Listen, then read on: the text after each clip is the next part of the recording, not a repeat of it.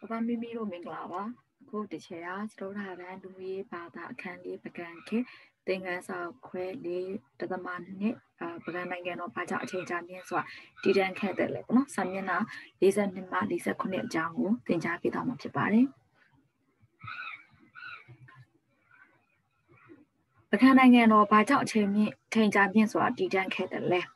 ပကံဒေသရဲ့အဓိကစီးပွားရေးလုပ်ငန်းမှာလေယာစိုက်ပျိုးရေးလုပ်ငန်းဖြစ်တယ်အဲ့တော့ပကံနန်းတော်ကြီးပကံနန်းတော်ကြီးကလေကျတော့မင်းဆက်တွေထဲမှာအရှိအကြဆုံးမင်းဆက်ထဲမှာပါတယ်မင်းဆက်ပေါ့နော်နိုင်ငံတော်ကြီးထဲမှာအဲ့တော့မင်းကြီးအဆက်ဆက်အဆက်ဆက်အဆက်ဆက်အုပ်ချုပ်သွားတယ်အဲ့တော့အုပ်ချုပ်သွားတဲ့ဟာမင်းတွေကဘာဖြစ်လို့တဖြည်းဖြည်းနဲ့ဒီနိုင်ငံတော်ကြီးကိုတည်တတ်အောင်ဘလို့ထိမ့်သိမ်းခဲ့တယ်လဲဘလို့ဘာကြောင့်ဒီနိုင်ငံရဲ့အကြအချိန်ကြာမြင့်ဆိုတာတည်တတ်ခဲ့တယ်လဲဆိုတာတစ်ချက်တော့လေ့လာကြည့်ရမယ်နော် ပကံဒေသရဲ့အဓိကစီးပွားရေးလုပ်ငန်းမှာလေယာစိုက်ပျိုးရေးလုပ်ငန်းဖြစ်တယ်။ပကံဒေသအဓိကစီးပွားရေးလုပ်ငန်းကလေယာစိုက်ပျိုးရေးစပါးတွေစိုက်မယ်အသင်းနယ်တွေစိုက်မယ်ခြားအများကြီးဆိုင်မယ်ပေါ့နော်အဲ့တော့မိုးခေါင်ရေရှားဒေတာတွင်ဆယ်မြောင်းတာတမန်များဖောက်လို့၍ရေသွင်းစိုက်ပျိုးခဲ့တယ်ဒါဆိုရင်မိုးခေါင်ရေရှားဒေတာဆိုတော့တကယ်တော့နွေရသည်ပေါ့အဲနွေရသည်ဖြစ်မယ်နွေရသည်မှာဆိုရင်ရောအာစဘာဆိုင်လို့မရဘူးလားရတယ်ဘလို့စိုက်လဲဆယ်မြောင်းတာတမန်တွေကိုဖောက်လို့ပြီးတော့ရေသွင်းစိုက်တယ် မိုးများသောဒေသတွေမိုးရေကိုအမိပြုရေးစိုက်တယ်။ Okay နွေရာသီပြီးတော့မိုးရာသီမိုးရာသီမှာလည်းသူတို့ဘာကိုစိုက်လဲမိုးရေကိုအမိပြုပြီးစိုက်တယ်။ဒါဆိုရင်ပကံတိုင်းတော်ကြီးပကံနန်းတော်ပေါ့ပကံနိုင်ငံတော်ကြီးอ่ะပေါ့နော်အချိန်ခါမရွေးစိုက်ပျိုးချစ်ထွန်းနေတဲ့ဒေသကြီးဖြစ်မနေဘူးလား။မိုးရာသီမှာလည်းစိုက်လို့ရတယ်နွေရာသီမှာလည်းစိုက်လို့ရတယ် ဘယ်ချိန်စိုက်စိုက်ဆက်လို့ရတယ်စောင်းနေကြတော့များသောအားဖြင့်တော့ဟိုဟာရိတ်သိမ်းတာများတယ်ပေါ့နော်စောင်းဒီမှာရိတ်သိမ်းရိတ်သိမ်းပြီးတော့အသီးနဲ့လို့ရောင်းချကြတာများတော့တိတ်အမှတော့တိတ်မစိုက်ကြအောင်အဓိကနွေရာသီမှာလည်းစိုက်လို့ရတယ်မိုးရာသီမှာလည်းစိုက်လို့ရတယ်အဲ့တော့ရာသီမရွေးစိုက်လို့ရတဲ့ပုံစံမျိုးဖြစ်တော့ရာသီမရွေးသီးနှံတွေစိုက်လို့ရတယ်စပားတွေစိုက်လို့ရတယ်ဆိုတော့တောင်သူလယ်သမားတွေစပားစိုက်တဲ့နိုင်ငံသူနိုင်ငံသားတွေကအကျိုးမဖြစ်ထုံးဘူးလားဖြစ်ထုံးတယ်အဲ့တော့သူတို့ကစားနိုင်ရခံမကြွယ်ဝဘူးလားကြွယ်ဝတာပေါ့အဲ့တော့အဓိကက ဆယ်မြောင်းတာတမန်တွေကိုအဒီတာတမန်တွေဖောက်ပြီးရေသွင်းဆိုင်တယ်ပေါ့နော်ဒါဆိုအဲ့ဆယ်မြောင်းတာတမန်တွေအတွက်ဆိုရင်အနွယ်ထားမြင့်လက်ထက်တဲ့ဆယ်ကြီးများကိုစနစ်တကျတိစောက်ခဲ့တယ်ရေတိုးလောင်တဲ့ဆယ်ကြီးတွေပေါ့နော်အဓိကကဒီနွေရာသီမှာရေသွင်းရေမြန်မာနိုင်ငံအလဲပိုင်းကတော်တော်များများကနွေရာသီဆိုရင်လေ မိုးနေဒေတာဖြစ်တယ်အပေသိဆိုင်လို့မရအောင်အဲ့တော့အဓိကနွေရာသီမှာစိုက်ဖို့အတွက်ဆိုရင်ရေရေလုံးလုံးလောက်ရှိမှရမှာပေါ့အဲ့တော့နွေနွေထားမြက်လက်ထက်ကဆယ်ကြီးတွေကိုစနစ်တကျတိဆောက်ခဲ့တယ်မိထီလာကန်ကြီးကိုပြန်လည်ပြည်ပြင်ခဲ့ပြီးရေသွင်းစိုက်ပျိုးလုပ်ငန်းကိုလည်းတိုးချဲ့ခဲ့တယ်ဆယ်မြောင်းများတိဆောက်ပေးထားသောကြောင့်လေတွင်းကိုခရိုင်ဒေသသည်ရှေးမြမာတို့၏စပယ်ကြီးအဖြစ်ထင်ရှားခဲ့တယ်စပားတွေအများကြီးအများကြီးအများကြီးစိုက်လို့ရအများကြီးအများကြီးပေါ်ကျွယ်သွားတဲ့အတွက်စပယ်ကြီးလို့တော့ထင်ရှားခဲ့တယ်တဲ့ အဲ့တော့အခုတချဲတို့လေ့လာနေတာကစီးပွားရေးအကြောင်းနော်စီးပွားရေးအကြောင်းအဲ့တော့နိုင်ငံတကာနိုင်ငံကိုတချဲတို့နိုင်ငံတကာနိုင်ငံကဖွံ့ဖြိုးတိုးတက်တဲ့အချိန်ကြာမြင့်စွာဖွံ့ဖြိုးတိုးတက်ခြင်းတယ်ဆိုရင်အဲ့နိုင်ငံကစီးပွားရေးအရန်ကောင်းရတယ်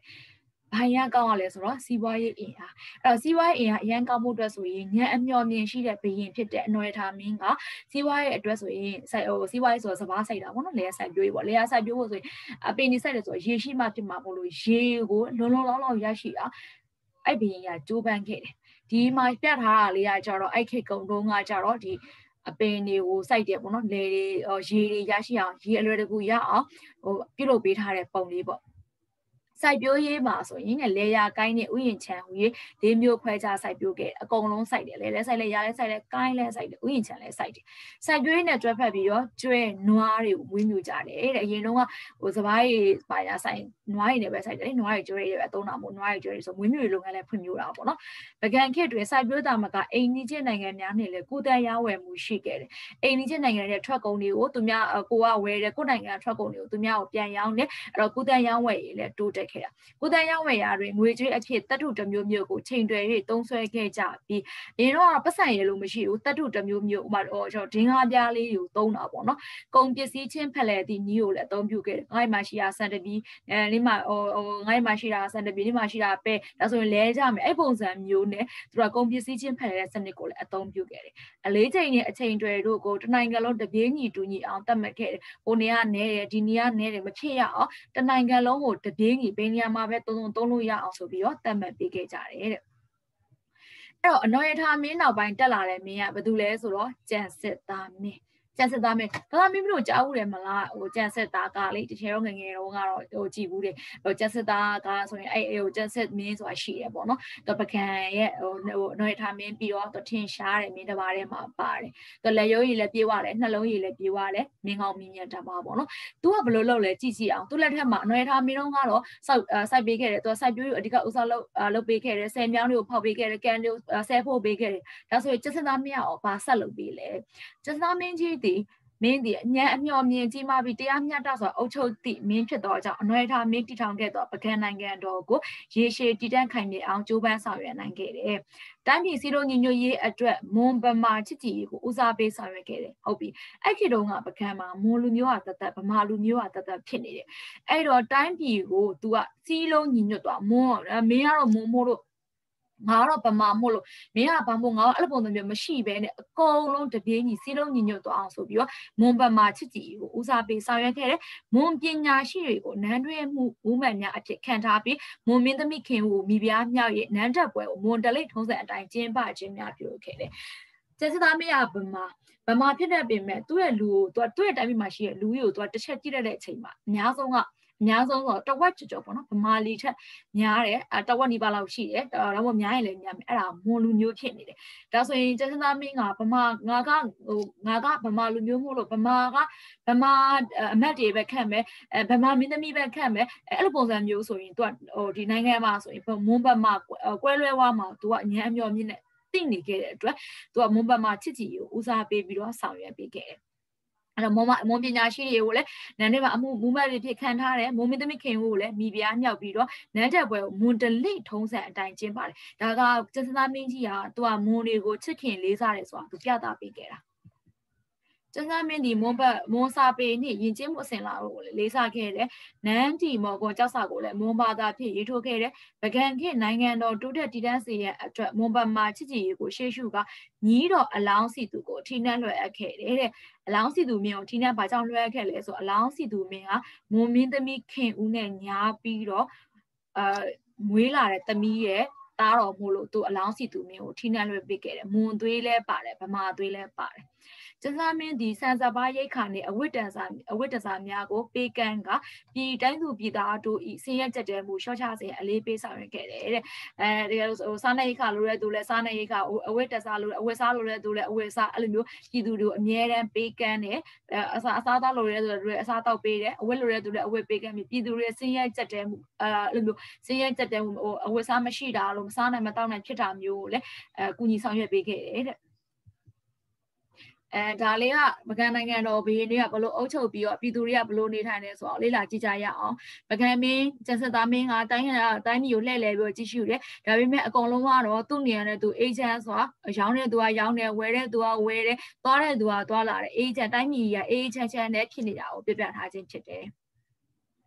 အဲ့တော့တချို့တော့အုတ်ချုပ်ရေးကြောင်းရင်စပြီးလေ့လာကြည့်မယ်နော်အုတ်ချုပ်ရေးထပ်ပြီးလေ့လာကြည့်ကြအောင်ဗကန်နိုင်ငံရဲ့အုတ်ချုပ်ရေးမှာတပ်ဦးဆန်ပိုင်းအုတ်ချုပ်ရေးဖြစ်တယ်ဘင်းအမိန်ဟူတဲ့များဥပဒေဟုတ်ပြီတပ်ဦးဆန်ပိုင်းအုတ်ချုပ်ရေးဆိုတာဘာလဲတပ်ဦးဆန်ပိုင်းအုတ်ချုပ်ရေးဆိုတာဘင်းအမိန်တွေကဥပဒေဖြစ်တာမျိုးတပ်ဦးဆန်ပိုင်းအုတ်ချုပ်ရေးလို့ခေါ်တယ်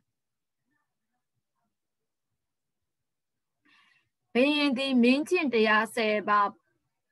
ဗုဒ္ဓအဆုံးအမများအစင်လာတလက်ထုံးတန်းထုံးတန်းများနှင့်ပညာရှိမှုမှများအကြံပြုချက်များကိုလေးစားလိုက်နာတယ်။ငါဘယ်ရင်ပဲဆိုပြီးတော့ကိုလို့ချင်တာကိုမလုပ်ဘူး။မင်းချင်းတရား10ပါးပြည်သူတွေဘယ်လိုမျိုးကူညီပေးရမလဲ။ဗုဒ္ဓဘာသာအဆုံးအမတွေအစင်လာတလက်ထုံးတန်းတွေနဲ့ပညာရှိမှုမှတွေအကြံပေးချက်တွေကိုလေးစားလိုက်နာလိုက်နာတယ်တဲ့။တိုင်းပြည်ကောင်ဝယ်ရေး ဘာသာသာသနာတိုးတက်ရေးနိုင်ငံတော်စီပင်ရေးတရားစီရင်ကိစ္စများကိုမူမှန်များအမှုတိုင်းများနဲ့တော့စနစ်တကျစီမံဆောင်ရွက်ကြတယ်။အားလုံးတိုင်းတိုင်းမင်းမင်းညှိနှံညှိနှံနဲ့ပြုလုပ်ကြတယ်။ဗကန်ခေလူမှုအဖွဲ့အစည်းတွင်ပြူသက်ဗမာကန်တူတောင်တူချင်းရခိုင်လဝစသည့်တိုင်းသားများနေထိုင်ခဲ့ကြတိုင်းသားများဆုံးပေါင်းစုပြီးနေထိုင်ကြတာပေါ့နော်လူမှုဘဝတွင်မိသားစုစနစ်ကိုအခြေခံ၍နေထိုင်ခဲ့ကြမိသားစုစနစ်ကိုအခြေခံတယ်ဆိုတာကအာမိသားစုမှာဆိုရင် လေးစားရတဲ့အိမ်တော်ဦးစီးကဟိုတချို့ဗုဒ္ဓဘာသာနဲ့တူတယ်ပေါ့နော်သူတို့သွားစနစ်ကပေါ့နော်လေးစားရတဲ့အုပ်ချုပ်တဲ့သူကဖဖေဖဖေရဲ့စကားကိုတသားမိမိတို့ကနားထောင်ရတယ်မေမေကလည်းဖဖေကိုလေးစားရတယ်ချစ်ကြောက်ရတယ်ယိုသေးရတယ်အဲ့ပုံစံအတိုင်းပဲသူတို့ကဒီအဲ့လိုအခြေခံပြီးတော့နေထိုင်ကြတယ်တဲ့ဘာသာတရားယုံကြည်ကိုင်းဆိုင်ကအလှတိုင်းရရောသူများလည်းဖြစ်တယ်တချယ်တို့လူမျိုးတွေကတော့ဘာသာတရားကိုအမြဲတမ်းယုံကြည်ရဲကိုင်းဆိုင်နဲ့အလှတန်းလည်းရက်ရောကြတယ် ပကံခေတ်တွင်အသက်မွေးဝမ်းကြောင်းမှုပေါ်မူတည်လူရန်စားကွဲပြတယ်တဲ့၎င်းတို့မှာမင်းဆွေမင်းမျိုးများမင်းမှုတန်းများအသည်များကျွန်များဖြစ်ကြတယ်အဲ့တော့မင်းနဲ့မင်းဆွေမင်းမျိုးတွေကအုတ်ချုပ်သူလူလန်းစားဖြစ်တဲ့မင်းမှုရန်များမှာမူးမတ်တွေပါမယ်ရဲမတ်တွေပါမယ်စာရေးစာချီတွေပါဝင်တယ်အတဲမှာဆိုရင်တော့မင်းမှုတန်းမဟုတ်တဲ့ကုံသွဲလဲလို့သူများနဲ့လက်မှုပညာသည်တွေကိုအတဲလူလန်းစားလို့ခေါ်တယ်။ကျွန်းလူလန်းစားမှာလည်းနှစ်မျိုးခွဲထားတယ်။သာသနာကျွန်းနဲ့အိမ်ကျွန်းဟုတ်ပြီးတော့ရှိတယ်။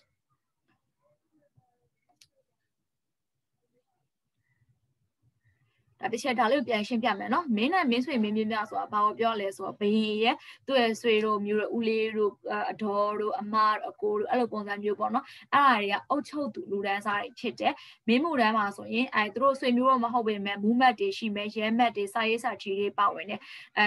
စာရေးပါမယ်နောက်တော့ဒီဘန်နာရေးမှုတွေပါအဲ့လိုမျိုးပါမယ်ပေါ့နော်အဲ့လိုပုံစံမျိုးတွေရှိမယ်အသေးတွေမှာကျတော့ကုံသွဲလဲလို့သူတွေအဲလဲရဆိုင်ပြိုးတဲ့သူတွေပါမယ်လက်မှုပညာတွေချွတ်လဲရမဆိုင်ပြိုးဘူးအဲဗကန်ခင်မှာဖွံ့ဖြိုးတာရွန်းထည်လေးရွန်းထည်လေးတွေအဲရောင်းနေပေါ့ကွန်ရွန်းကွန်အိတ်လေးတွေနဲ့အဲ့လိုပုံစံမျိုးလိုကြအတယ်လိုလို့ခေါ်ပြောနောက်ကျွန်းမှာကျတော့သာသနာကျွန်းသာသနာကျွန်းဆိုတာကဘုန်းကြီးကျောင်းတွေဖះကျောင်းတွေမှာဆိုရင်ဖះရဲ့ဝေရဝိဆာဘုန်းကြီးရဲ့ဝေရဝိဆာလုပ်ပေးရတာသာသနာကျွန်းနဲ့အိမ်ကျွန်းအိမ်တဲကြီးမှာဆိုရင်ဟိုချုပ်ဒီမှာဆိုရင်တော့ဟိုဒီခုခေတ်မှာတော့ကျွန်းတို့တော့မသုံးတော့ဘူးပေါ့နော်အိမ်ဒီမှာဝေရဝိဆာပြုလုပ်ပေးတဲ့သူပေါ့နော်အဲ့လိုပုံစံမျိုးနှစ်မျိုးခွဲခြားထားတယ်